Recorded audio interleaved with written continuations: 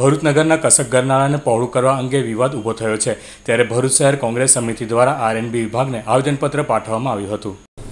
ભરૂચ નગરના પ્રવેશદ્વારસામાં કસક ગરનાળાને પહોળો કરવાની કામગીરીમાં સ્થાનિક રહીશોએ વિરોધ કરતા આ કામગીરી હાલ તુરંત બંધ રાખવામાં આવી છે. અત્રે નોંધવું રહ્યું કે કસક ગરનાળું સાંકડું હોવાના પગલે ફાયર બ્રિગેડના બંબા તેમજ એમ્બ્યુલન્સ જેવા વાહનો પસાર થઈ શકતા ન હતા, જેના પગલે આ ગરનાળું પહોળું કરવા અંગે આયોજન કરવામાં આવ્યું હતું. આયોજનના એક ભાગરૂપે ભરૂચના તંત્ર દ્વારા જાહેરનામું બહાર પાડી પંદર દિવસ માટે કસક ગરનાળું વાહન વ્યવહાર માટે બંધ જાહેર કરાયું હતું.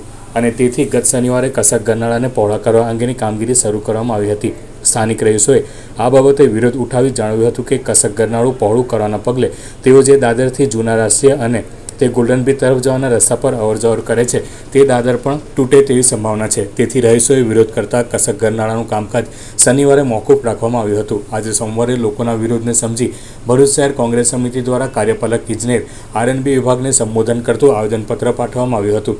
આવેદનમાં દાદર બાબતે રહીશો દ્વારા રજૂઆત કરવામાં આવી હતી.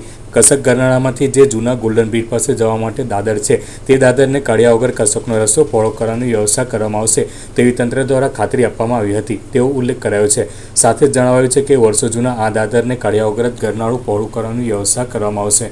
આવી તંત્ર દ્વારા ત્રણ મહિના પહેલાં સ્થાનિક રહીશોને ખાતરી અપાઈ હતી. પરંતુ હાલમાં જે જાહેરનામું બહાર પાડવામાં આવ્યું છે અને ત્યારબાદ તારીખ અગિયાર નવ બે હજાર એકવીસના રોજ કોંગ્રેસ શહેર સમિતિના સભ્યો દ્વારા કસક ગરનાળાની મુલાકાત લેવામાં આવી હતી. તે દરમિયાન ત્યાંના કામ કરતા ઇજનેર દ્વારા એવી જાણ કરાઈ હતી કે હાલ જે દાદર છે તે દાદર નવા પ્લાન મુજબ કાઢી નાખવામાં આવેલ છે. જેનો ભરૂચ શહેર કોંગ્રેસ સમિતિના સભ્યોએ સખત શબ્દોમાં વિરોધ કર્યો છે.